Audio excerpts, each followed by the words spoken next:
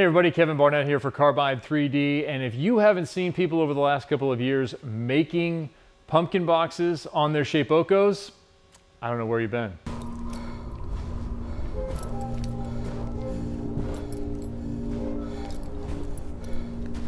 In any case, they've been all over the web. People have been doing a really nice job with this. It's anything from a saleable item all the way down to a terrific kids project if you want to get your kids out in the shop or just get your kids to design it in the computer.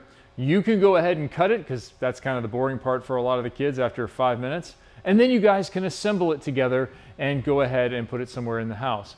This is a terrific project. That's why it's really taken off. I'll take you through the steps of making a basic box and then we'll see how far we can take it. What else can we do with it? Can we do something else creative in terms of the construction of the box? Can we use different materials? How about a 17th century Japanese finishing technique? We'll give you that too. All right, let's make some pumpkin boxes.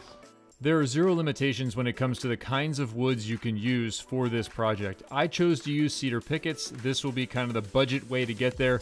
Pickets are super inexpensive. Looking at the files here, I've already established what I need for the cedar pickets. That little cutout in the back is so that my rechargeable lights can remain inside the box, and I can simply charge the boxes after about 8 hours of use. Lights will be recessed just a little bit. And if you look at the tool paths, here's the face that I have selected. This particular face design is off of Carbide Elements, which is free, and I put it on a different layer to keep it separate and hideable Using layers can streamline your design process. L is the hotkey. Next, I use the offset tool to put an acrylic inlay in one of the boxes. You'll create two offsets. One will cut a space for the acrylic. The other one actually cuts those acrylic pieces which need to be larger than the face cutout, but smaller than the inlay that you establish with the offset tool. So first I establish the inlay size, you'll see that there, and then off to the side I have the acrylic pieces these are going to be cut. You can actually reorder them. You don't have to cut them in this shape. Once cut, they will fit, as you can see here, in between the face cutout and the offset. We have everything established. I've got my tool paths. Let's take it to the machine. When it came to the cutting, I decided to use down cut end mills, super handy. Be sure and put tabs inside your bigger features so they don't get caught up in your end mill.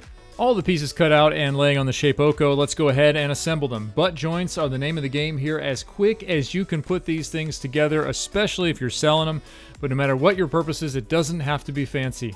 A pin nailer is one of the best things you could ever buy, well beyond a finishing nailer. Those tiny little pins shooting in there. Spend the 120 bucks or 70 bucks, whatever it may be, that you can find a pin nailer for. Uh, you will be very happy when it comes to these projects. So we're going to pin nail the face on and then the back, get everything aligned. On that last joint, you can go ahead and pull it square. Again, this is not fine joinery. This is speed and fun at work on the Shapeoko. Get that top on there. We're going to go ahead and pin nail that on because that can be on there permanently. We're just going to pull it on and off the base quite simply. Try and keep things simple versus complicated. Pull the bottom over and look at that. We have a pumpkin box. Now with the acrylic version, you want to go ahead and cut the acrylic out. Here are the pieces that we laid out and pry them out nice and easy. And then we'll peel them and put them into our inlays. Work with that offset tool. It is so handy. These things went in perfectly. I had the mouth backwards, get it right, and we're good.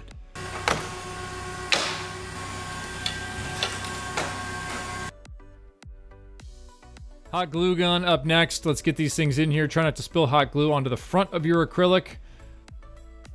The comparison between the two boxes, one without acrylic, one with acrylic. You be the judge. Which do you like better? On my end, I prefer the one without acrylic. It looks more like a pumpkin to me. Let's go a little bigger. Let's get a little fancier. Let's make a large pumpkin box for two lights. The polyline tool is what we're going to use to make a stem because we want it to be a little bit cooler. Go ahead and draw your polyline and then use the node editor. We're gonna grab all the top nodes, we're gonna smooth them out, and then we're gonna shape them however we want. Again, this is the artistry of what you're doing. You get to create this thing. You are the master of this object. You're in charge of how it looks. It doesn't have to look like anything other than what you want it to look like. Let's head on over to Carbide Elements. Carbide Elements are free. You can download these SVGs, pick one you like, import it into Carbide Create. Don't stop there. Delete that frame. We already have frames. size it appropriately, and then again, we utilize the node editor. Grab the node editor and change this thing. Make it into something that is truly unique and yours. All you have to do is add nodes and grab the existing nodes. You can really create some fun. I'm gonna add teeth to mine because, yeah, it's a jack-o'-lantern. It's supposed to have teeth. It's supposed to be a little bit mean. A few extra nodes and some adjustments to the mouth. Done. I'm additionally gonna add some little side elements, again, altering the design, making it truly mine. Some little stripes by the sides of the eyes. Duplicate those two stripes, flip them, and they'll all match. Then you can resize everything in that space. So make your adjustments first to your group, then copy it, then flip it. That way you're guaranteed to have four items that all look alike. You can group them and ungroup them to align them however you want. Once you have your whole face, align that, spin it, because this part we need to be wider than it is tall, so we're gonna have to alter that. We're set to go to the machine.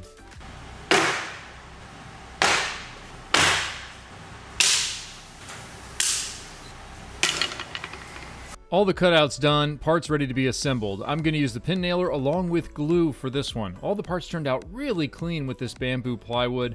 I like to dry fit everything to make sure it's all perfect before I start assembly. Again, with that pin nailer, keep it level, shoot them through. The glue will help make everything solid once it dries. I installed some guides underneath the top piece. Get those nailed in with some shorter nails, and there it is, a cat pumpkin. Shushugiban or Susugiban or Sushugiban, I don't know, you'll hear it five different ways, is an ancient Japanese technique going back to at least furniture in the 1700s, where you take cedar and you burn it. And that has a few effects. One, it defends it against bugs. Two, it makes it nearly waterproof. And three, makes it more durable. It's interesting to think about a wood being burned and that making it better or improving it. Shushugiban literally translates into burnt cedar. That's what you're gonna do, although that application, Shushugiban, has been applied to a whole bunch of different things. You'll see it sometimes in larch and in other woods. It's become very popular again with architectural elements of homes. I've seen it indoors, I've seen it outdoors. It's something that has really taken hold, I think, because it has a cool name, and you get to say, yeah, it's from Japan in the 1700s. I had some fun using this technique. Let's go ahead and shushugiban some pumpkins. There. Nope, that's not gonna work. That's not enough either.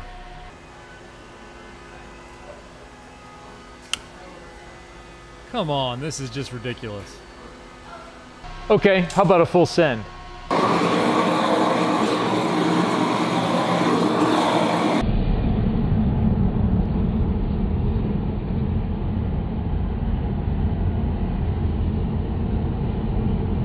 Who doesn't want to play with a blowtorch? All right, let's get to our regular project. Brush torch, $20. Propane tank, $25. Elon Musk putting a plastic housing on it, $455. That's exactly what he did a few years ago is sell you a brush torch with a Tesla badge and upset some politicians. Grab one at any big box retailer. Go ahead and char the outside as much or as little as you want. Remember, you're the artist. You can do whatever you want here. One note, the torch is loud. You'll have to acquire some comfort with it. Let's give you a little bit of a listen.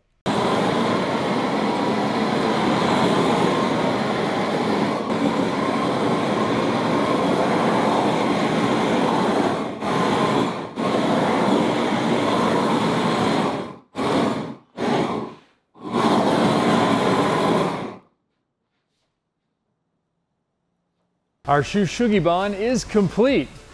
I don't know if this is a good look for a pumpkin. Might be. I kind of like it. Not too bad. But the look on the cedar is really awesome. I love this. Now you have a couple choices. You can leave it au naturel, just as is. You can wire brush it and take a little bit off of there and reveal a little bit of the wood. And then go ahead and inside of that put some poly if you wanted to maintain it year to year. Or you can just leave it. Put it outside, see how long it lasts, see if it makes it the year. Your choice. I took it a little bit further and instead of just going with the simple cutout as I suggested, you can make it more complex.